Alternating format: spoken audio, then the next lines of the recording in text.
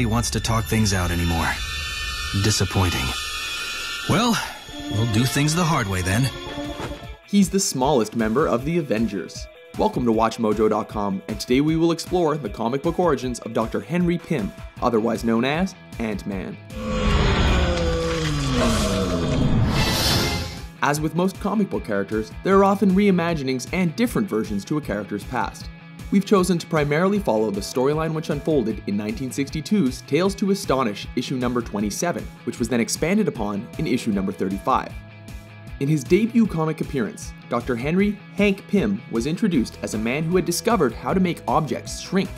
Somewhat of a mad scientist, his research was done to not only benefit mankind, but also to prove his worth within the scientific community. Having successfully shrunk and re expanded a chair, Hank perfected his serum with the goal of using it to revolutionize transportation by reducing the cost of shipping people and things around the world.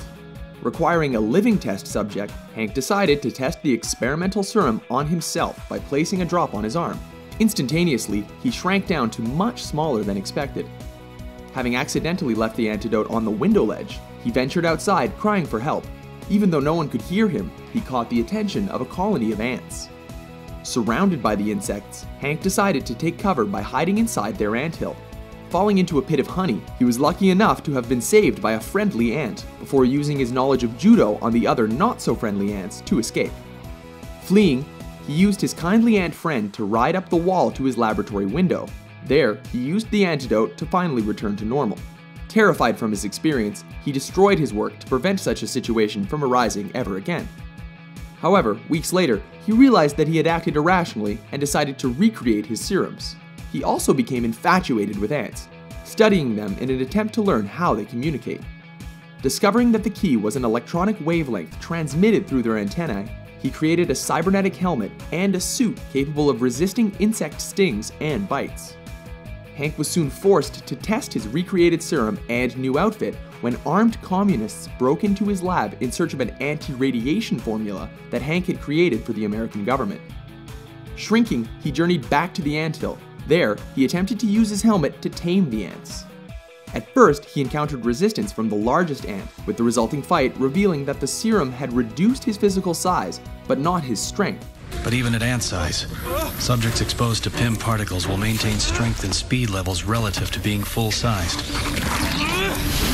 Using this, his outfit, and his knowledge of judo, he eventually gained control and recruited an army of ants.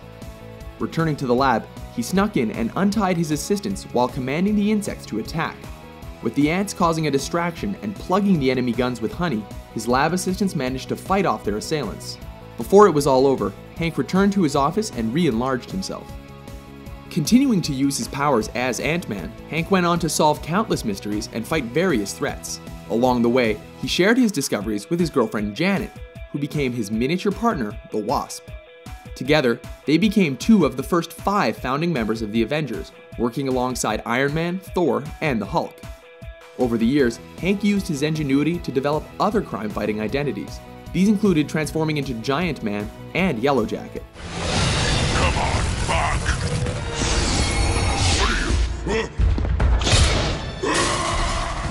Set to make his live action film debut in 2015, Ant Man will spearhead Marvel's Phase 3. This will finally have him take his place amongst his fellow members of the Avengers.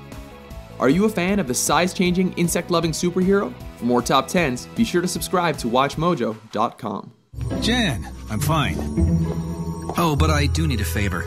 There's a couple of mercenaries out on the beach. I shrank them down. Can you just make sure the ants don't eat them? Thanks. Eat them?